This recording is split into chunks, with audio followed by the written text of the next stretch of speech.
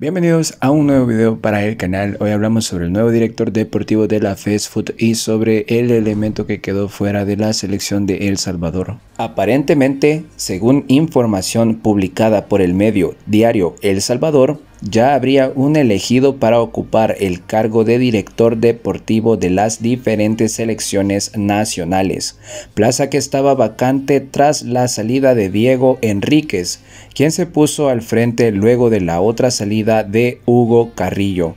Este profesional que será el nuevo sucesor ya estaría acá en el país, Así es, es un extranjero y sería presentado oficialmente en conferencia de prensa mañana lunes. Su nombre es Diego Gama, de nacionalidad portuguesa. Si se preguntan de dónde fue que salió o cómo surgió él para hacerse cargo de este puesto, pues ha sido una recomendación de Mauricio Cienfuegos, el exjugador y actual asistente técnico de la selección mayor de El Salvador.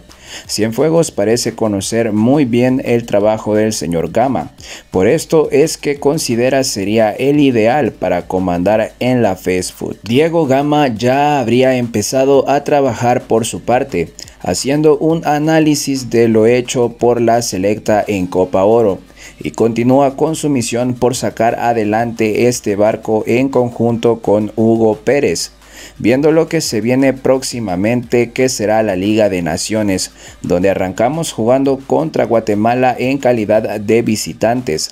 Previo a dicho encuentro, ya se estaría también planeando amistosos de preparación para encarar de la mejor manera el torneo.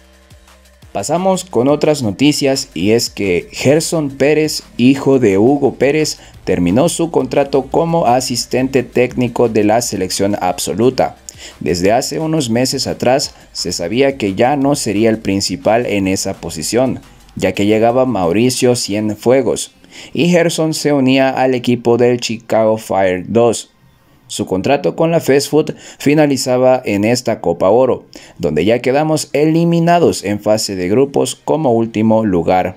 Gerson dio unas palabras para Diario El Salvador con respecto a su situación. Mi contrato llegaba hasta Copa Oro.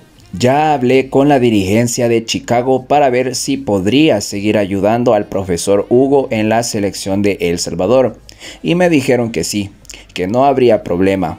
Ahora tengo que hablar con la fast food para ver qué planes tienen o qué decisión van a tomar, mencionó Pérez. Ante esto, no han quedado del todo cerradas las puertas de la selección para Gerson, ya que podría ser que vuelva, pero mientras esto no se dé, quedará fuera del proyecto. Así que se deberá de agilizar este tema para que se reincorpore nuevamente y acompañe a la delegación en los próximos juegos que se vienen más adelante, en caso que siga siendo tomado en cuenta para ser parte del cuerpo técnico. Habiendo dicho todo esto, nos gustaría que nos hagas saber tu opinión con respecto a estas dos noticias en los comentarios. Y sin más que añadir, es así como hemos llegado al final de este video. Si ha sido de tu agrado, dale like, suscríbete al canal si aún no lo estás y activa la campanita de notificaciones para que YouTube te avise cada vez que subamos un nuevo video. Todo esto es totalmente gratis y nos estarías apoyando de gran manera. Hasta la próxima.